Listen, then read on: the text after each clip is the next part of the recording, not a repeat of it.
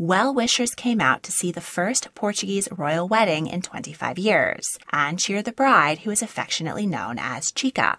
Infanta Maria Francisca of Portugal married lawyer Duarte de Souza Araújo Martins on October 7th. Her father, Duarte Pio, Duke of Braganza, is the great grandson of King Miguel I.